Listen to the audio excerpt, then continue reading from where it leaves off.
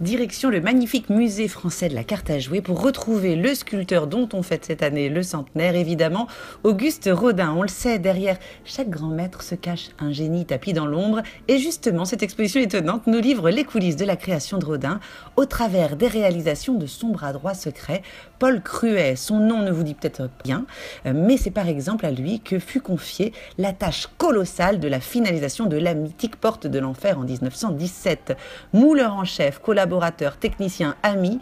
Qui sait ce qu'aurait vraiment été l'œuvre de Rodin sans ce personnage oublié aujourd'hui Un personnage énigmatique des œuvres grandioses et un métier à découvrir, celui de mouleur, celui qui donne vie aux œuvres des sculpteurs à travers un mélange de photographies, de plâtre, d'aquarelles et d'œuvres incroyables sur lesquelles Cruet a travaillé, on perçoit ici la confiance aveugle ou presque que lui dévouait Rodin. Plus que l'histoire d'un maître, eh bien, c'est l'histoire d'un duo, un duo fabuleux qui donnera naissance aux plus emblématiques sculptures de l'histoire de l'art. Belle visite à tous.